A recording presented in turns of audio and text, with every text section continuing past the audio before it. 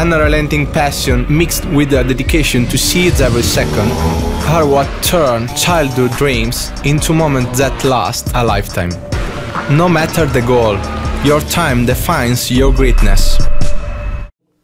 ผลการคอลิฟายนะครับโมโต2ที่เพิ่งจบลงไปนะครับ เมื่อช่วงบ่ายที่ประเทศมาเลเซียครับ มาเลเซียนกลางปี สนามนี้ก้องสมเกียรติจันทรานะครับ ก็เป็นการ comeback สนามที่ 2 นะครับ ต่อจากประเทศไทย ซึ่งรถแข่งของเขาก็ยังคงต้องใช้เบรกที่แฮนด์ฝั่งซ้ายเหมือนเดิม นี่ครับ qualify หนึ่งก้องยอดเยี่ยมมาก คือตอนแรกเนี่ยออกไปแล้วนะครับ ออกไปแล้วพอเห็น traffic มันแน่น ๆ นะครับ ก้องสมเกียรติจันทราแล้วก็ทีมเมทก็คือเซอร์โจมาริโอวาจีเนี่ย สุดท้ายก็ต้องนำรถกลับเข้ามาที่พิษ คือตอนแรกก็ดูอยู่ว่าเอ๊ะงงๆทำไมถึงไม่วิ่งนะครับ ยังไม่มีเวลาเลยในช่วงแรก กลับเข้ามาพร้อมกันครับ จอดแป๊บหนึ่งรอจังหวะนี่ครับ แล้วก็ออกไปใหม่ เข้ามาแป๊บเดียวครับประมาณ 2 นาที ออกมาในช่วงเวลาที่แทร็กนั้นค่อนข้างที่จะว่างครับ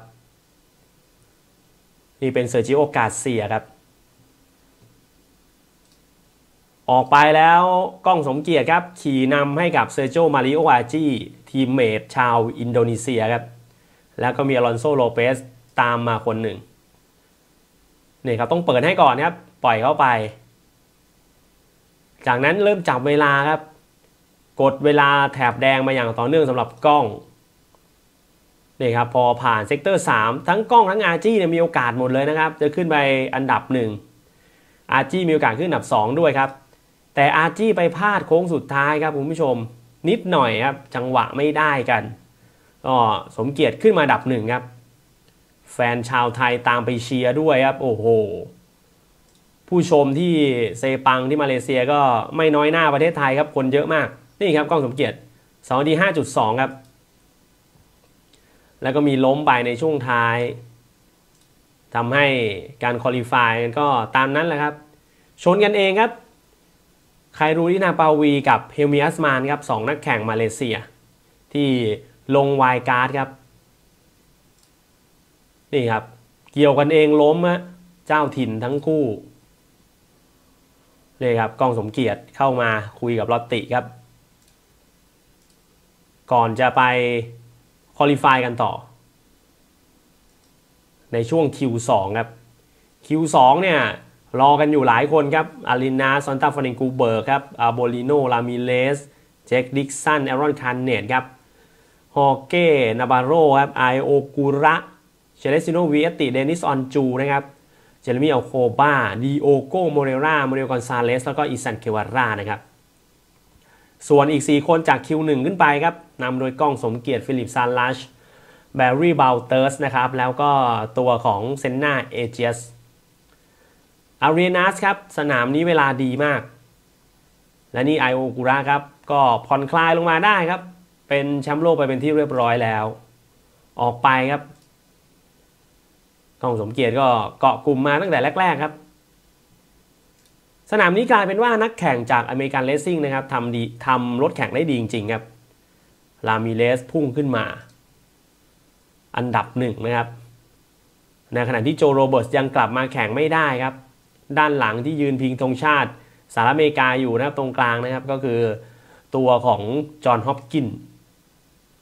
นี่ครับผ่านด้านแรก กล้องสมเกียรติเวลายังไม่ดีครับ อยู่อันดับที่ 17 แล้วพอออกมาวิ่งต่อครับ ในรันที่ 2 เวลาก็ดีขึ้นนิดหน่อยครับ และคนที่เร็วสุดๆ ก็คือฮอเก้นาบาโรครับ 2 นาที 4.412ทำลายสถิติของสนามนี้ครับ เป็น replace rider ด้วยสำหรับนาบาโร่ครับ ยอดเยี่ยมจริง ๆ ก้องอยู่อันดับ 15 ครับ รอบสุดท้ายเจคดิกสันล้มอีกแล้ว พอเจคล้มก็เลยทำให้เพื่อนๆ ไม่มีไม่มีโอกาสได้ทำเวลาเลยครับ ตัวของไอรอนคาร์เนตไปพลาดเล็กน้อยด้วยครับ แล้วก็คนที่ได้ pole ไปก็คือคนนี้ครับฮอเกนนาบาโรนักแข่งชาวสเปนครับ OnlyFans American Racing Team มาขี่แทนโจโรเบิร์ส นี่ครับ pole เป็นของนาบาโรครับ ข้างๆ ก็คือมาร์กอสรามิเรซ teammate ของเขาครับ grid ที่ 3 เชเลซิโนวีเอตติมาได้ในช่วงท้ายเลย grid ที่ 4 อเบิร์ตอารีนาสครับ5เดนิสอนจู 6 เป็นโทนี่โบลิโนครับ อันดับที่ 7 ไอโอกุระครับแชมป์โลก อันดับที่ 8 ก็คือมานูกอนซาเลส9ดิโอโกโมเรราครับ ปีหน้าดิโอโกโมเรราดุเดือดแน่นอนครับ กับการแข่งขันโมโตทูอันดับที่ 10 ฟิลิปซาลัช 11 เป็นอีซานเกโอล่าครับ 12 เจคดิกสัน 13แอรอนคาร์เนตอันดับที่ 14 ซอนตาเฟรนคูเบิร์กนะครับ 15 ก็คือสมเกียรติจันทรา อันดับที่ 16 ครับแบร์รี่บัลเตอร์ส 17 เจเรมี่อัลโคบา18 เซน่าเอเจสครับ ก้องสตาร์ท grid 15 ครับ อยู่ในแถวที่ 5 ก็เดี๋ยวดูครับว่าจะ recovery อันดับได้ดีเหมือนสนามอื่น ๆ หรือไม่นะครับ อันดับที่ 19 กาเซียครับ 20 เป็นอลอนโซโลเปส 21 มาริโออาจีครับ ได้ลมดูดจากก้องทำให้ grid ดีพอสมควรครับมาริโออาจีน่าเสียดายครับพลาดโค้งสุดท้ายทำให้ผ่านเข้าสู่ Q2 ไม่สำเร็จ 22 เป็นดารินบินเดอร์ครับ ต่อด้วย 23 ก็คือเดนิฟอร์เจีย 24 เจ้าเม่มาเซียนะครับอันดับที่ 25อัลเบิร์ตอัลเบโตเซรา26 เป็นชาบี้กาเดลุสนะครับ แล้วก็ด้านหลังมานะครับ ก็มีอเล็กเอสกรี ชาเบียอาร์ติกาสครับเฮลมีอัสมานกับตัวของ คารูอินาปาวีนะครับสองนักแข่งที่ลง wild card เป็นนักแข่งมาเลเซียที่ได้แจ้งไปเมื่อสักครู่นะครับ แล้วก็มี grid ที่ 31 ก็คือแฮร์ริสันวอลฟ์นะครับนี่ครับ คนที่คว้า pole ไปครองในรุ่นโมโตทูครับฮอเก้นาบาโรนักแข่งชาวสเปน ส่วนในรุ่นโมโตทรีครับ คนที่ได้ pole ก็คือนี่ฮะอาร์เดียนเฟรนเดสนักแข่งสเปนครับ Leopard Racing ใช้รถฮอนด้าครับ สนามนี้ Honda ได้เครื่องยนต์ใหม่มาครับ ก็ทำให้แสดงผลลัพธ์ที่ดีมาดีพอสมควรเลยครับสำหรับโมโตทรี grid ที่ 2 เป็นอีบันออโตล่าครับ3ดาบิดอัลลอนโซครับแชมป์โลก เดี๋ยวดูครับว่าอัลลอนโซออกตัวจากวิดที่ 3 จะสามารถที่จะคว้าชัยชนะได้อีกหรือไม่ครับ เพราะว่าในตอนนี้เนี่ยเขาทำ world record นะครับ เป็นนักแข่งในรุ่น class lightweight หรือว่าคลาสเล็กสุดของ World Grand Prix ที่คว้าชัยชนะมากที่สุดในประวัติศาสตร์ถึง 12 ครั้งทำลายสถิติของมาร์คมาเกสแล้วก็วาเลนติโนโรซี่ลงไปเรียบร้อยแล้วนี่ครับ grid ที่ 4 เป็นซูซูกิครับ grid ที่ 5 เคลโซgrid ที่ 6 เป็นลูก้าลูเนตตาครับ 7 อังเคลปิเกราส8 คอลลินไวเยอร์นะครับ 9 เป็นดาวิดอัลมันซ่านะครับ อันดับที่ 10 ก็เป็นของโฮเซอันโตนิโอรูเอดา 11เดนิโฮกาโดครับ12เรียวเซยามานากะ 13 ก็คือเซวานโนเนปาตามด้วย teammate นะครับนิโคล่านิโคล่าคาราโร14 นะครับ 15 เป็นดาวิดมุนโยช16 ริคาโดรอซี่ 17 ไทโยฟูรุสโตะนะครับอันดับที่ 18 เป็นซออดเดนนะครับ แล้วก็กลุ่มหลังครับก็มีมาเตโอเบอร์เทลลี่ 19 ยาคอบโรสโตน 20 21 เป็นโจเอเซบานครับ 22 เอ็ดดี้โอเชลง wild card ครับ เป็นนักแข่งที่อยู่ใน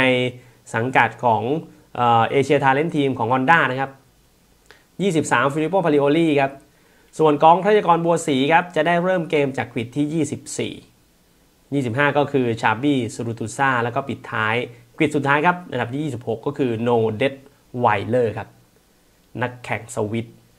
นั่นก็เป็นสถานการณ์ในภาพรวมของการ qualify ในรุ่นโมโตทรีแล้วก็โมโตทูครับคุณผู้ชม มาลุ้นกันดู พรุ่งนี้โมโตทรีจะเริ่มต้นออกสตาร์ทการแข่งขันในเวลา 11 นาฬิกาตรงนะครับ แล้วก็รุ่นโมโตทูจะแข่งขันเวลา 12.15 น นะครับ มาลุ้นครับ ลุ้นกัน